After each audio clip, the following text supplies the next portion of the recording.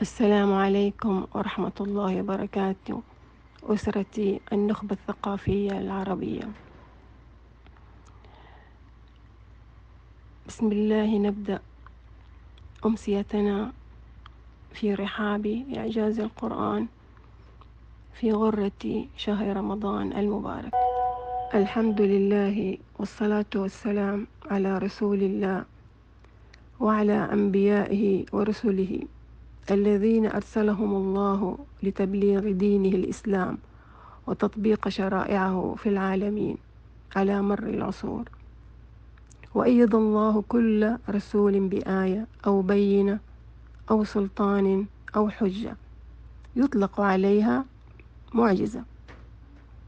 حدثنا القرآن الكريم عن معجزات الأنبياء عليهم السلام وهي معجزات مادية محسوسة. لم يبق لها أثر بعد وفاة النبي الذي ظهرت على يديه. سنريهم آياتنا في الآفاق وفي أنفسهم حتى يتبين لهم أنه الحق. أولم يكف بربك أنه على كل شيء شهيد. معجزات الأنبياء التي وردت في القرآن الكريم كثيرة.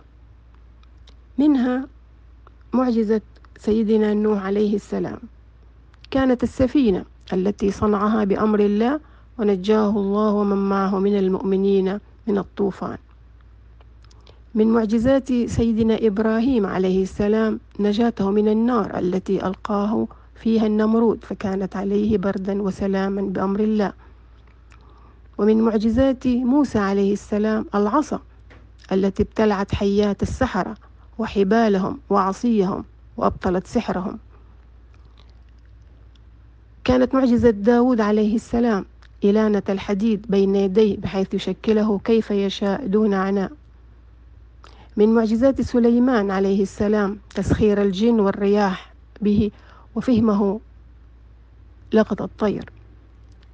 من معجزات عيسى عليه السلام إبراءه الأكمه والأبرص وإحياؤه الموتى بإذن الله.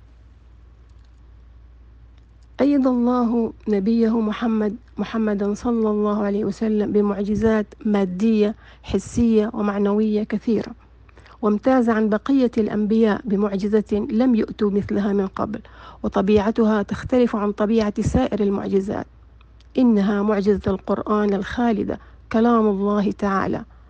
فبقاء القرآن وحفظه من منذ نزوله قبل 1441 عاما حتى قيام الساعة إعجاز رباني عظيم ومعجزة للناس كلهم في جميع العصور وهو ما يميز القرآن ويميز دعوة خاتم النبيين محمد صلى الله عليه وسلم ما معنى الإعجاز؟ الإعجاز لغة مشتق من العجز وكلمة العجز تعني الضعف وعدم القدرة. فيقال أعجزني فلان. أعجزت فلان. وعجزته أي جعلته عاجزا. وهو مصدر أعجز ومعناه السبق والفوت ما معنى المعجزة؟ المعجزة لغة مأخوذة من الفعل الثلاثي عجز وهو يدل على عكس القدرة. نقول أعجزني فلان إذا قصرت عن طلبه وإدراكه. المعجزة اصطلاحا آية وبينة وبرهان وسلطان لأمر خارق للعادة سالم من المعارضة مرتفع عن قدرة البشر مقرون بالتحدي لعجز البشر عن الإتيان بمثله. دال على صدق النبي تارة وعلى غير ذلك تارة أخرى. يجريه الله تعالى على يد أنبيائه ورسله تصديقا لهم فيما يبلغونه عنه سبحان سبحانه وتعالى وتقوية لحجتهم أمام أقوامهم. وإلى ثمود أخاهم صالحا قال يا قوم اعبدوا الله ما لكم من إله غيره. قد جاءتكم بينة من رب ربكم هذه ناقة الله لكم آية فذروها تأكل في أرض الله ولا تمسوها بسوء ولا تمسوها بسوء فيأخذكم عذاب أليم. واضمم يدك إلى جناحك تخرج بيضاء من غير سوء. بيضاء من غير سوء آية أخرى. قالت رسلهم أفي الله شك؟ فاطر السماوات والأرض يدعوكم ليغفر لكم من ذنوبكم ويؤخركم إلى أجل مسمى. قالوا إن أنتم إلا بشر مثلنا تريدون أن تصدونا عما كان يعبد آباؤنا فأتونا بسلطان مبين. شروط المعجزة. أولا أن تكون من الأمور الخارقة للعادة. سواء كان هذا الأمر الخارق من قبيل الأقوال كتسبيح الحصى وحنين الجذع ومثل القرآن الكريم أو يكون من قبيل الفعل كانفجار الماء من بين أصابع الرسول صلى الله عليه وسلم. وتكثير الطعام القليل وكفايته للجمع الكثير أو من قبيل الترك مثل عدم إحراق النار لسيدنا إبراهيم عليه السلام وعدم إغراق الماء لنبي الله موسى عليه السلام وقومه وعدم سيلانه عليه الشرط الثاني أن يكون الخارق من صنع الله تعالى وإنجازه.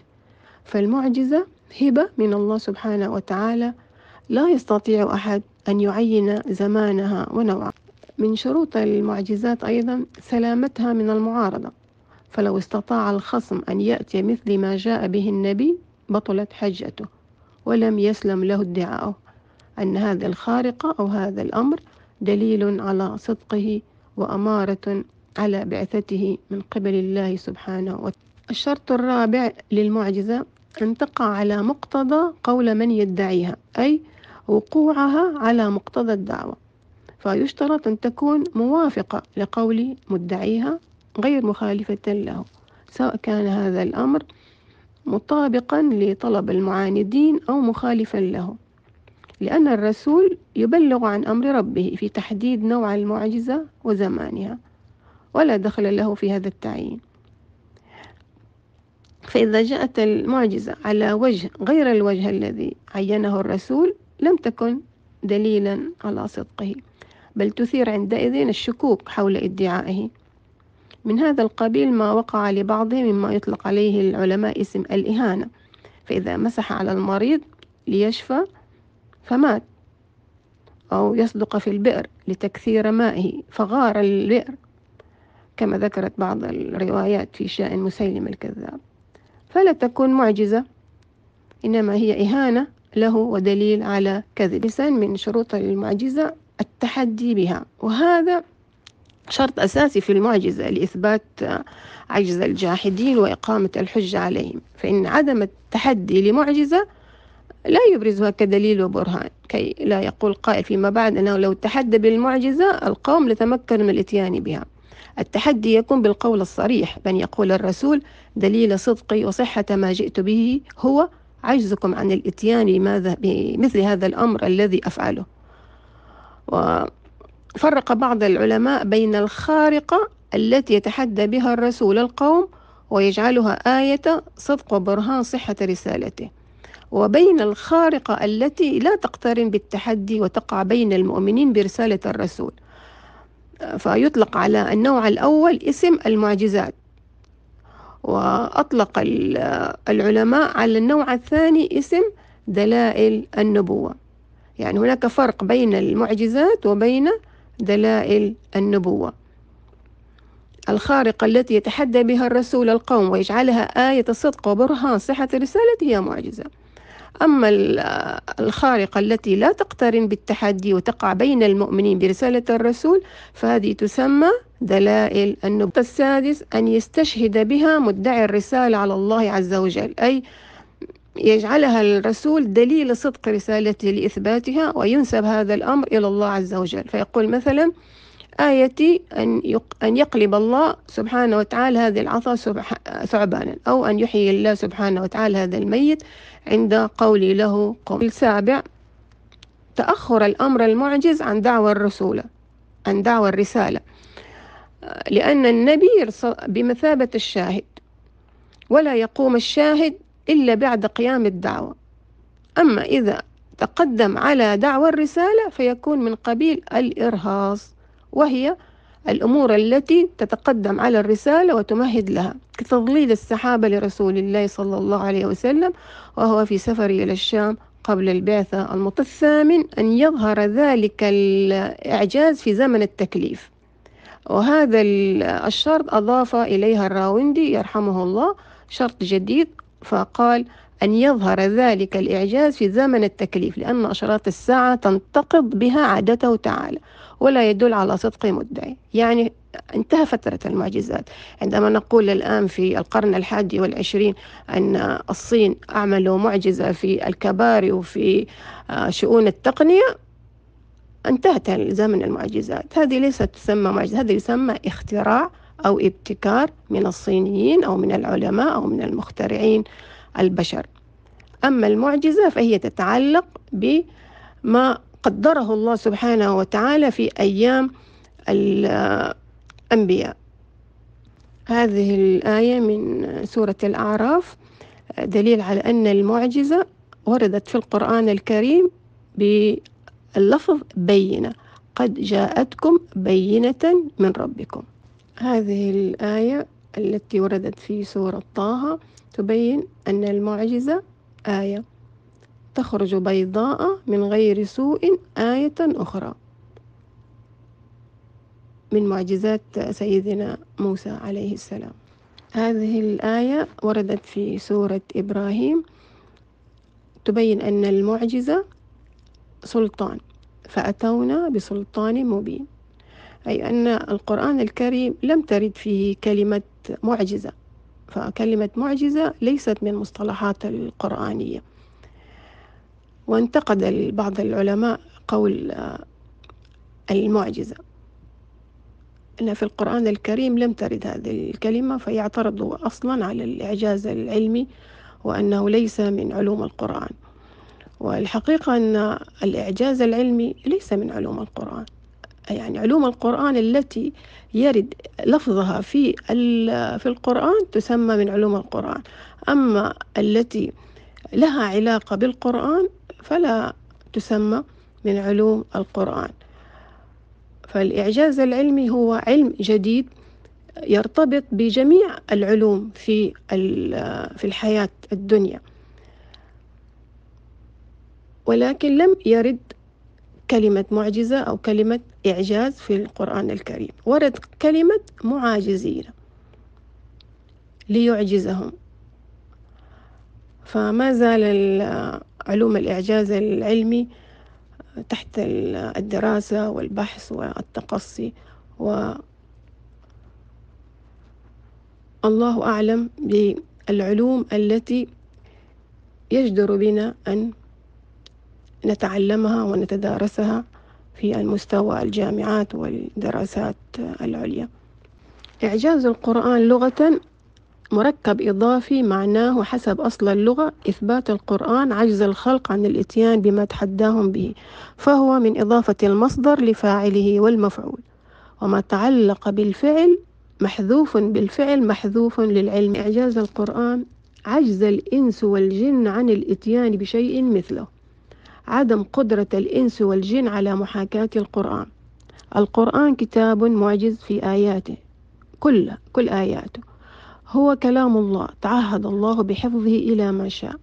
هو الحق المطلق الوحيد المحفوظ بين أيدي الناس وهذا الحق هو قوام الوجود كله. وأنه كتاب النظام الشامل الكامل للحياة التي يرتضيها الله من عباده. إنه إعجاز التحدي للإنس والجن أن يأتوا بشيء من القرآن تبيان لكل شيء في أمور الدنيا والدين. هو إعجاز القرآن بكل شيء في علم الغيب وعلم الماضي وعلم الحاضر وعلم المستقبل. هناك الإعجاز اللغوي البياني النظمي والإعجاز العقدي والتعبدي والأخلاقي والتشريعي. هناك الإعجاز الطبي والصحي والدوائي والغذائي. هناك الإعجاز التاريخي والتربوي والنفسي والاقتصادي والإداري والإعلامي. هناك الإعجاز الرقمي والتقني والهندسي والصوتي والسمعي والبصري. ثمرة الإعجاز ثبوت أن مصدر المعجزة هو الله سبحانه وتعالى لأن النبي بشر. ولولا النبوة لما ظهرت خوارق العادة على يديه ولكان عجزه عنها كعجز سائر الناس. النبي الخاتم ودعوته الخالدة مؤيدان بمعجزة خالدة حتى لا يفتقر عصرا من العصور إلى ما يثبت صدقه ومصداقيته وصلاحية دعوته للحياة في كل زمان. وإعجاز القرآن أمام الإنسان العربي البسيط ظهر عجزه عن تقليد القرآن الكريم. ظهر عجز العرب وهم أهل الفصاحة والبلاغة والشعر. في جزيرة العرب عن الإتيان مثل القرآن الكريم منذ سمعوا آياته وواجهتهم حججة. هي إعجاز القرآن. وموضوع إعجاز القرآن من موضوعات يقال أنه من موضوعات علوم القرآن التي عني بها العلماء قديما وحديثا وأفردوا لها مباحث ومؤلفات منذ قرن من الزمان وكونوا فيها آراء ومذاهب.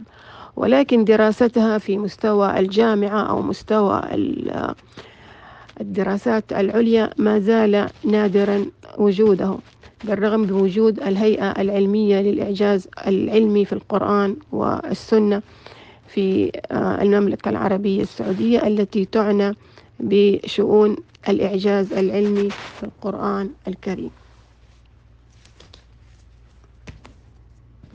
الهيئة العلمية الهيئة العالمية للإعجاز العلمي في القرآن والسنة هي إحدى هيئات رابطة العالم الإسلامي ذات الشخصية الاعتبارية المستقلة تسعى لإظهار أوجه الإعجاز العلمي في القرآن والسنة المطهرة والعمل على نشرها.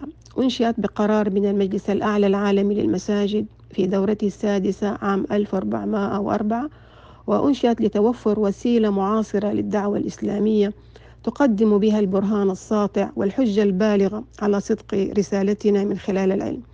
هذا الشاهد العدل الذي ارتضاه عالمنا المعاصر حكما ومرجعا. الرؤية هيئة عالمية رائدة لمعجزة نبوية خالدة ورسالة الهيئة العالمية تحقيق أبحاث الإعجاز العلمي في القرآن والسنة وإظهارها للناس كافة. استراتيجيتها تعتبر مرجعية شرعية وعلمية لعلوم الإعجاز العلمي في القرآن والسنة نشر وإبراز أوجه الإعلام العلمي في القرآن والسنة تنمية الموارد المالية وتنويع مصادرها استخدام, استخدام التقنيات الحديثة وتطويرها لخدمة برامج وأهداف الإعجاز العلمي. حكمة من إعجاز القرآن. أنواع الإعجاز التي تضمنها القرآن وما تحمله من فصاحة لغوية وأحكام تشريعية وحقائق علمية وأخبار غيبية كلها إشارات ودلالات تؤكد لمن هو بحاجة لتأكيد أن القرآن الكريم حق وأنه كلام الله تعالى الذي لا يأتيه الباطل من بين يديه ولا من خلفه. علاوة على ذلك تتمثل حكمة الإعجاز القرآني في تثبيت وطمأنة قلوب المؤمنين بهذا الدين الإسلامي. وفي مساعدتهم على محاججة غيرهم وإقناعهم بصحة الإسلام وصدق رسالته خاصة أولئك الذين يحتاجون إلى دلائل مادية وبراهين علمية. ومن حكمة الإعجاز أيضا أنه يفتح الباب أمام المسلمين للبحث والاستكشاف في مختلف الظواهر والعلوم ويمدهم بالإشارات اللازمة للانطلاق في هذا المجال بالتفكر والتدبر. هذه بعض الكتب الحديثة الصادرة في مجال إعجاز القرآن الكريم والسنة النبوية.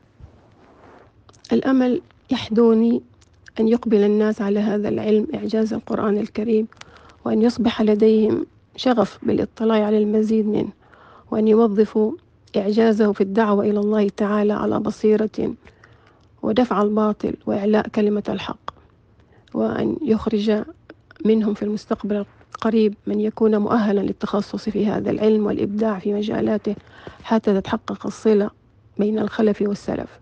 فلا يكون الإعجاز القرآني غريبا عن أبناء العصور المتلاحقة. أسألك اللهم أن يتحقق النفع من هذه الأمسية الرمضانية في شهر القرآن وأتشرف بجميع أعضاء النخبة للمشاركة معي في الحلقات القادمة إن شاء الله خلال هذا الشهر عن أحد أوجه الإعجاز القرآني الكريم.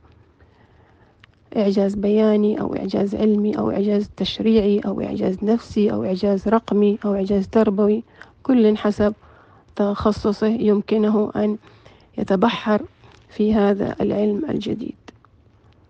والسلام عليكم ورحمة الله وبركاته. إلى اللقاء. مرحبا دكتور محمد إسماعيل. شكرا على إطلالتك. وآمل استكمال الحلقات خلال شهر رمضان الكريم. الله يسلمك ويبارك فيك دكتور محمد الشريف قائدنا الملهم ورائد النخبة الثقافية. أنت من تشعل الحماس لإشاعة الخير في هذا الشهر الفضيل عبر قناة النخبة الثقافية العربية. أرجو أن أكون عند حسن ظنك وتقديم ما هو مفيد. في واحتنا النخبة الثقافية العربية ما شاء الله لا قوة إلا بالله يعطيك العافية دكتورة هناء ويعني محاضرة يعني زي ما يقولوا مختصرة لكن دسمة.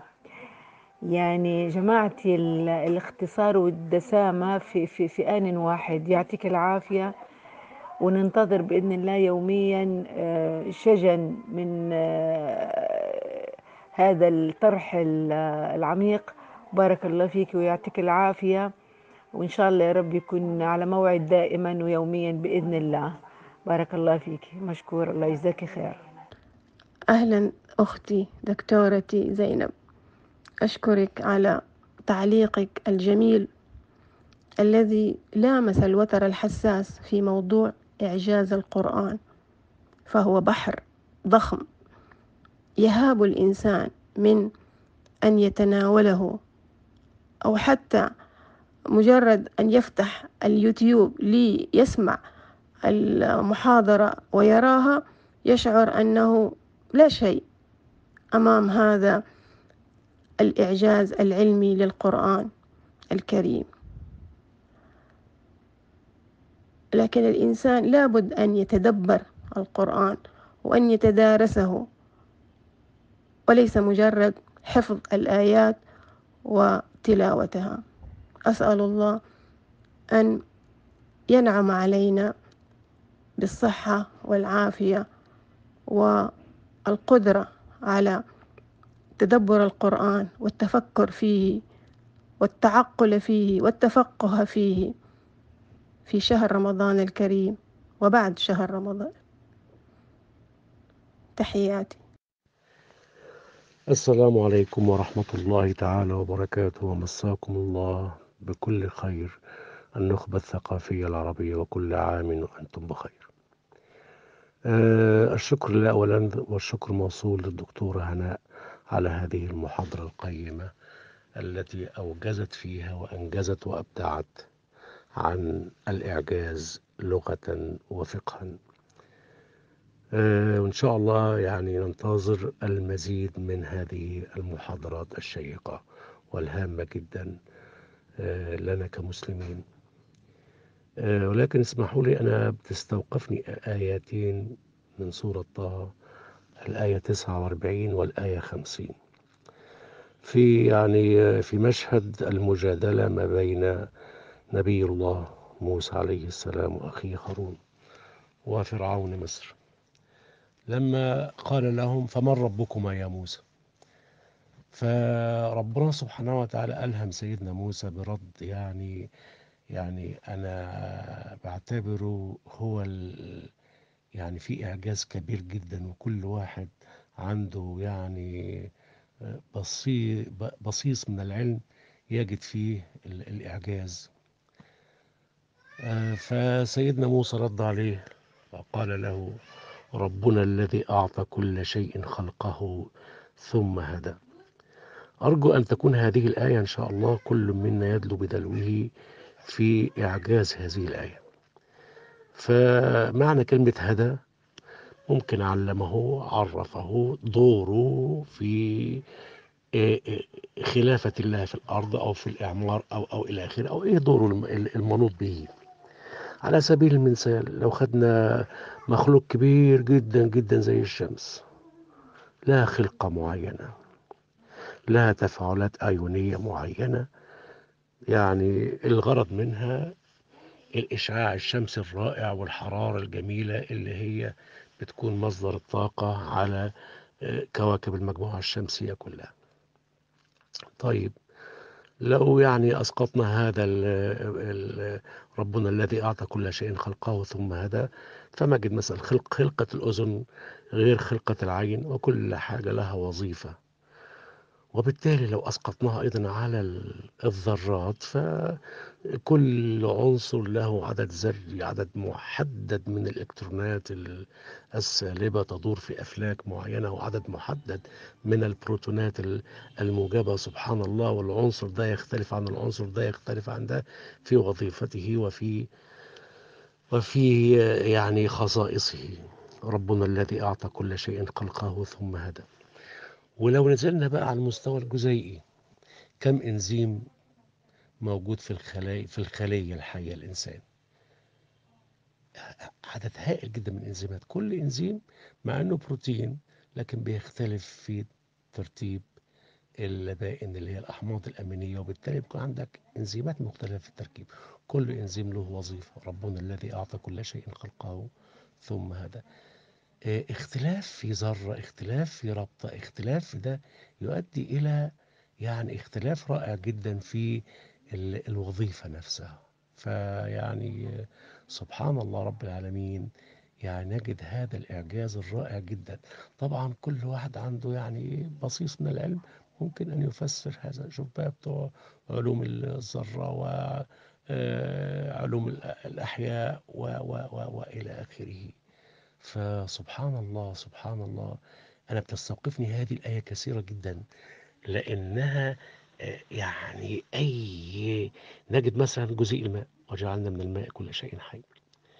ففي حاجة اسمها ربطة هيدروجينية لما نسخن المية يعني يعني إلى حد ما بتنكمش هذه الروابط وبتصبح الجزيئات في حركة حرة فيتكون بخار الماء وتتحول الحالة الغازية من المية. من الماء. وبعدين لما تنخفض درجة الحرارة هذه الروابط يعني بتبقى على يعني تنفرد تماما بحيث تخلي عدد جزيئات المية في وحدة الحجوم أقل بكثير جدا من كونها في الحالة السائلة فيتجمد المية فكثافته تقل فيطفو على السطح عشان تعيش الأحياء آه، تحت هذا الكم الهائل من من الجليد. سبحان الله. ربنا الذي أعطى كل شيء خلقه ثم هدى.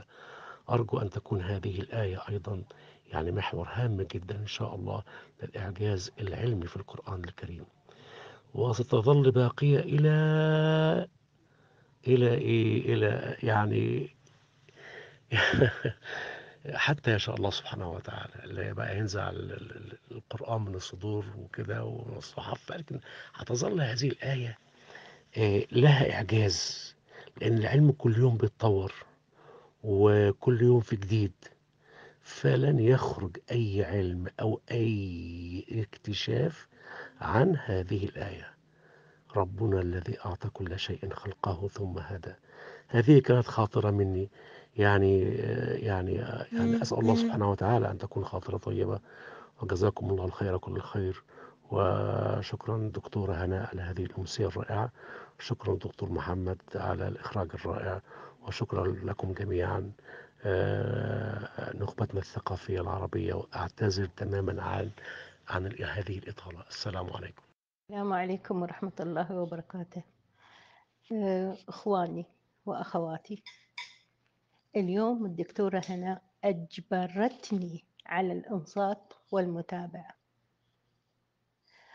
والذي أجبرني الإعجاز في الطرح.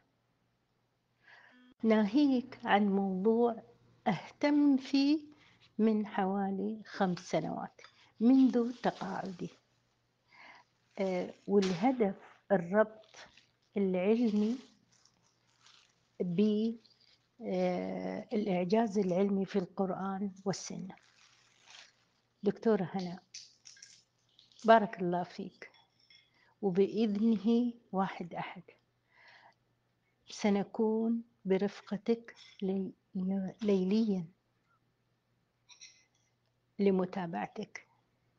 لكن أنا أحب أن يشاركنا في آه هذه الكوكبة الدكتور عبد الله المصلح الأمين العام للهيئة العالمية للإعجاز العلمي في القرآن والسنة بمصر.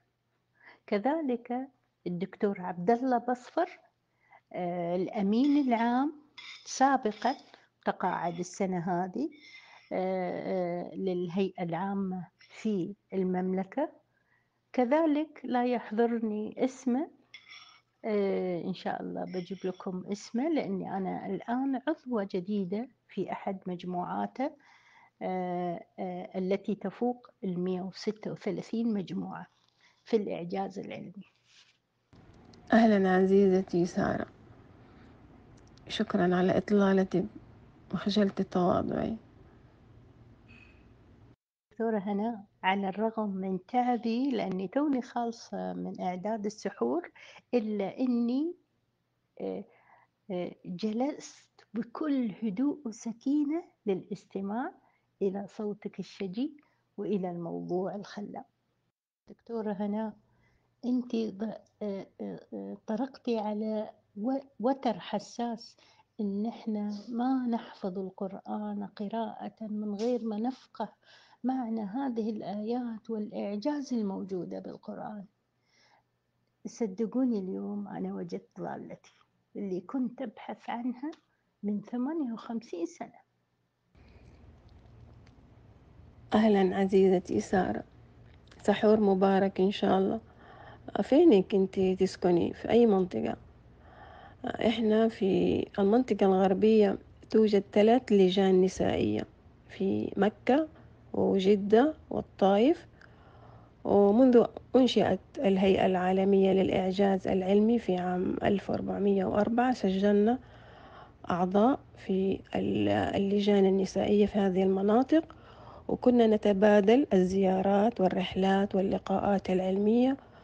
ونخبة مننا انتدبت لحضور المؤتمرات في دبي وفي تركيا وفي المغرب. فالدكتور الشيخ المصلح هو مدير عام الهيئة العالمية للإعجاز العلمي في المكة المكرمة وأشيد بحرصه الشديد على تثقيفنا نحن عضوات اللجان النسائية وتمكين الخبراء والأساتذة في الإعجاز العلمي أن يلقوا المحاضرات والدورات التدريبية التأهيلية لإعداد داعيات الإعجاز العلمي. خلال أكثر من عشر سنوات قضيتها مع زميلاتي عضوات الهيئة العالمية من جميع التخصصات. وكان تخصصي أنا تربوي علمي. ما شجعني على أن أدرس دبلوم شرعي بعد انتهائي من رسالة الدكتوراه. فالعلم الشرعي لابد منه في تثقيف أنفسنا بثقافة الإعجاز العلمي. لا أستطيع أن أتناول أي موضوع في الإعجاز العلمي بدون ما أكون متمكنة أو لي آه ثقافة باللغة العربية حتى أفهم تفسير القرآن الكريم أولا. ثم أنظر للموضوع من زاوية تخصصي. أشكرك على إطرائك وخجلتي تواضعي. وربنا يكتب لنا نجتمع في لقاءات مباركة إن شاء الله.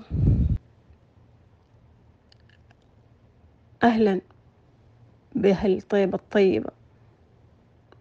أشكرك أخي أستاذي النبيل محمد.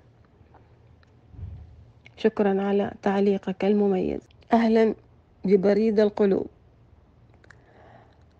شكرا على إطلالتك أو إطلالتك. وإعجاز القرآن هو من بريد القلوب. الذي يثري أعمال القلوب. من التقوى والرضا والفضيلة والحكمة عند التفكر بأغوار آيات القرآن الكريم. أدام الله تواصلك بالعلماء ووفقك وسددك وأشكرك على ما أدرجته من أشياء مباركة إن شاء الله.